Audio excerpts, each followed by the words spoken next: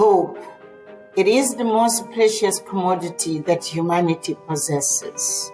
Hope can nurture, inspire, build, and protect. When all else is lost, hope remains.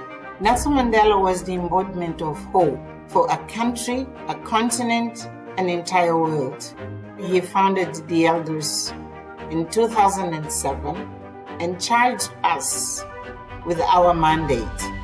Support courage where there is fear, foster agreement where there is conflict, and inspire hope where there is despair. The world needs hope now more than ever. Join our discussion.